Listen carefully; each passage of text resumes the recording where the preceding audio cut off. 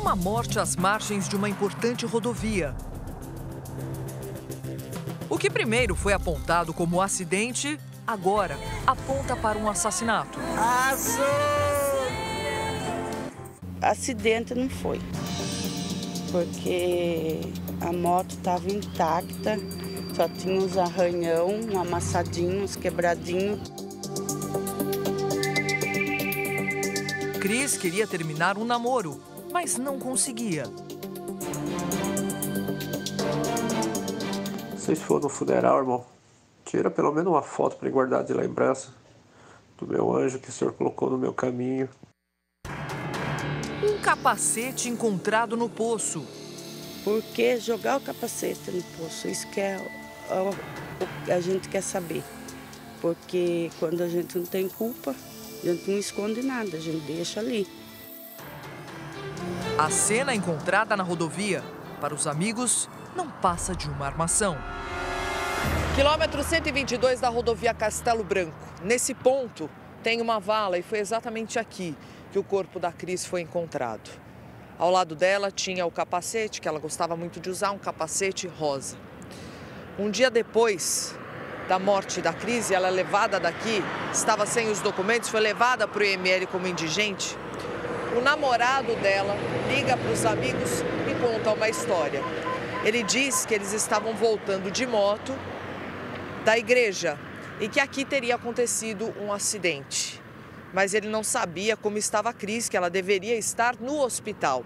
É aí que os amigos e vizinhos descobrem que a Cris estava morta. Mas essa história, cercada de mistérios, ainda é investigada pela polícia. Acontece que, segundo os vizinhos, a moto de Cris estava guardada dentro da casa dela e com uma batida que não seria compatível com um acidente grave a ponto de matar uma pessoa que fosse um acidente de moto, você com capacete aberto, você ia moer o seu rosto.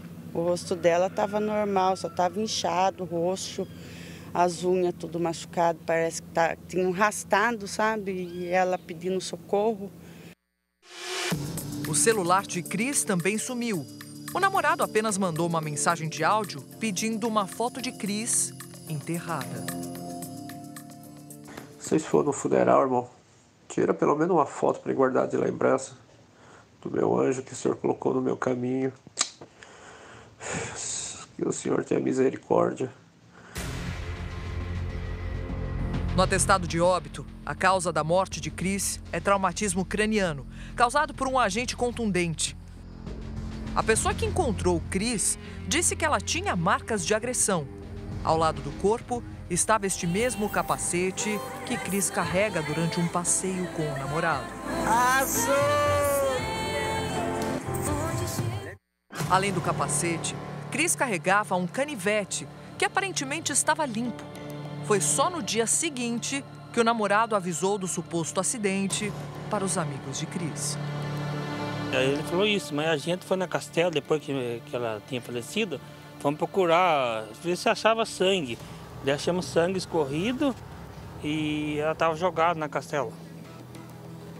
Não foi acidente para você? Não foi acidente. O guarda falou que não foi acidente.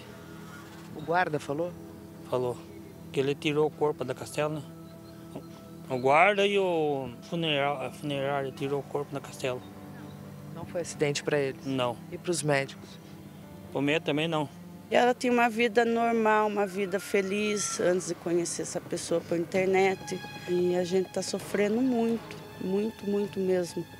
E a gente queria que pelo menos dessem a resposta para a gente, pegassem ele, porque ele está aí belo, famoso, solto por aí, postando nas redes sociais que está viajando, que está bem.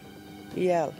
O que acontece? A polícia veio até a casa da Cris para fazer uma perícia mais aprofundada, para ver se tinham marcas de sangue aqui dentro.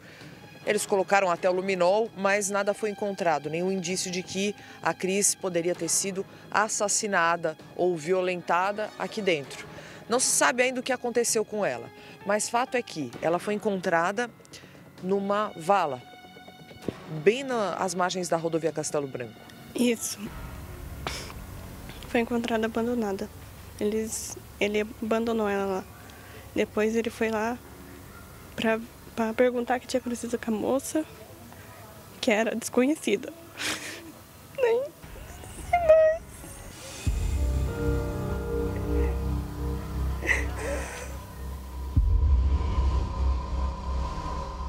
A mulher de 45 anos não tinha filhos. Havia conhecido o rapaz na internet por meio de um aplicativo de relacionamento. Os dois pareciam felizes juntos.